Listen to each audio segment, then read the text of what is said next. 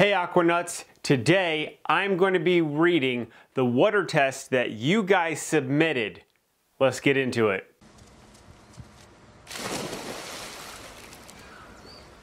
So before we get into the water test that I'm going to be reading, I want to first put a disclaimer out there that there's a lot of stuff that I don't know about every single one of these pools that I'm going to be reading the test to. Number one, I don't know the gallons of any of these pools. I don't know how they look. I'm not going over TDS, total dissolved solids. I'm not going over salt, and I also don't know what these pools are made out of, whether it be vinyl, gunite, or fiberglass. So I'm just going over what I see as far as the chemistry and giving you advice based on that. And that's all it is. It's not anything legal, concrete, set in stone, none of that. You need to consult your local pool professional to get the advice that you need, knowing that I only have a very limited amount of information to go off of. So here goes. Starting off today, we have Curvin. I hope that I'm pronouncing that right. If I butcher any of your names, guys, I'm really sorry.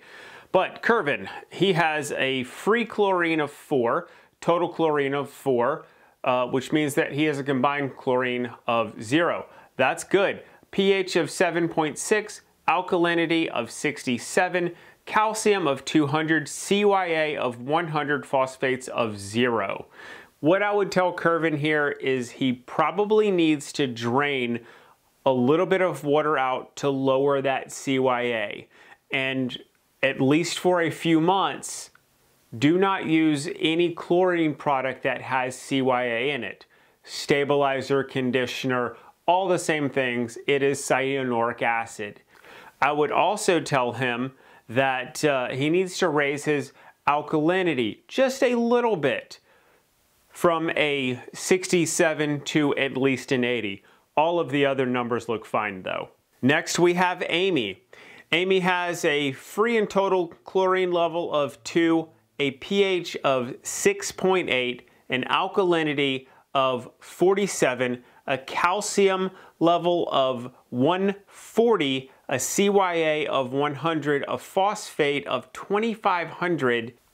What I would tell Amy is I might drain some of this water out.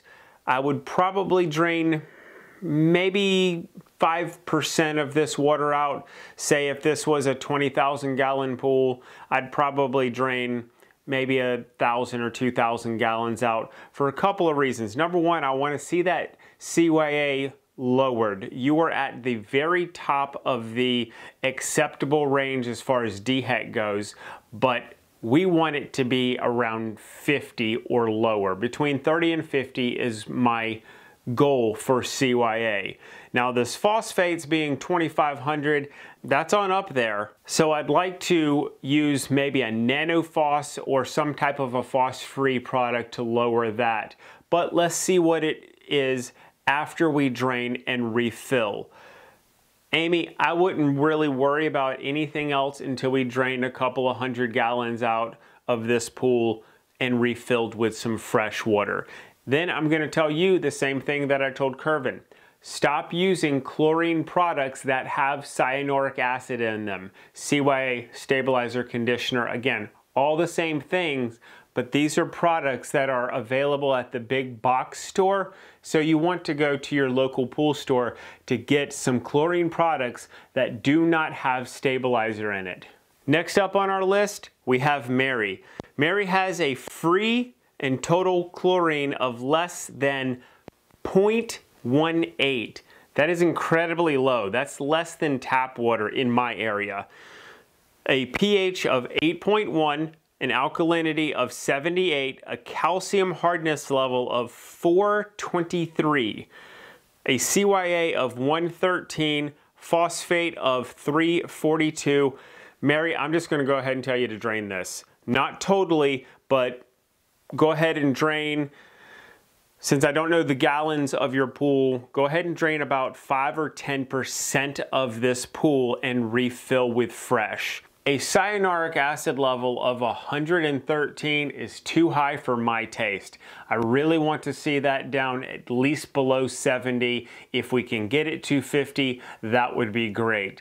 Mary, I'm just gonna go ahead and tell you, you need to drain some of your pool out and refill it with fresh. Once you do that, let's revisit this test and go from there. Next up on our list is Reagan with a free chlorine of 4.28, a total chlorine of 5.95, which makes a combined chlorine of 1.67, a pH of 7.2, an alkalinity of 58, calcium hardness is 186, cyanuric acid is 60, phosphates is 926. Reagan, what I'm gonna tell you is the first thing that I want to do is raise the calcium level up to 200. Whatever that means as far as dosing, because I do not know what your gallons is. Then I'm going to raise the alkalinity level up to 80. 58 is too low. I'm gonna raise that to 80. Once you've done that, retest. But if I'm seeing a combined chlorine level of 1.67 even though you have a total chlorine of 5.95, I'm going to shock this pool. I'm going to hit it with probably a couple of pounds or a bit of liquid chlorine to break that combined chlorine. You need to take your gallons and figure out how to reach your breakpoint chlorination level if those numbers stay the same after you have adjusted your alkalinity and your calcium levels. This one is Jamal. Now, what we have here is a free chlorine and a total chlorine of 0.1 or less. This is less than tap water, guys. We need to get some chlorine in this pool, but let's go over the other numbers a pH of 7.5 is good, an alkalinity of zero, a calcium level of 160, a cyanuric acid level of five. I don't know what the phosphates are. Jamal, unless this is a fresh fill, meaning you just filled this pool up, I would probably retest. To have a zero alkalinity is a little odd. So I would at least want to see something there and to have a CYA level of five, that's within the margin of error. So I'd probably want to retest, but let's just say for instance that this test is right. The first thing that I'm going to do is I am going to raise this alkalinity level up to 80 and it could take you, depending on the size pool that you have, anywhere between 25 and 50 pounds of sodium bicarbonate baking soda to raise the alkalinity level up to where it needs to be. After you do that, I'm going to increase the CYA level just a touch. I'm not gonna go crazy here, but the chlorine, you are gonna have to raise the chlorine level of this pool to get it in the two parts per million to six parts per million range. If this pool isn't already green, you need to get it there quick or it's going to turn green. If it is green, then you need to consult your local pool store to figure out what you need to do there. Next on my list is Jamie. Bear with me, I only have a couple of more. Jamie has a free and total chlorine of 2.5. His pH is 7.5. His alkalinity is 75. Calcium 385. CYA 60. I don't know what the phosphates are. This pool looks good. It really does. The only thing that I would say is put a little bit of alkalinity in there. Otherwise, this is good. Gia is up next on my list with a free chlorine and a total chlorine of 2.4, pH of 7.8, alkalinity of 80, calcium of 226, a CYA of 79, a phosphate of 2,331. Now, obviously, what we're going to do is we're going to lower this phosphate level using some type of a phos-free. Other than that, Gia, this looks good and turns out you weren't too late. Kim is up next on my list with a free chlorine and a total chlorine of about 1.5, a pH of 7.6, an alkalinity of 86, calcium hardness is at 254, CYA is 52, and a whopping 4,000 for phosphates. Everything looks okay except for the chlorine. In this time of the year, I really want to see that chlorine level over 2. I'd like to see it somewhere between 2 and 6 depending on your bather load. If you don't have a lot of people swimming, then we can hang back and stay at the 2 to 3 range, but if we have a high bather load, I really want to see it somewhere between 4 and 6 just to make sure that we don't have any pathogens growing. However, with a phosphate level of 4,000, I'm gonna wanna start treating that and I'm gonna wanna start treating it soon. Get that taken care of, get your chlorine up, and you should be good to go. Last up on my list is Amber. Amber actually knows what she's doing, so she sent me a trick test for me to read, so I'm gonna read it. A free chlorine, total chlorine, the chlorine is zero. It's absolutely nothing, less than tap water. A pH of 8, alkalinity of 150, calcium 50, CYA of zero. This looks like it could be a fresh fill.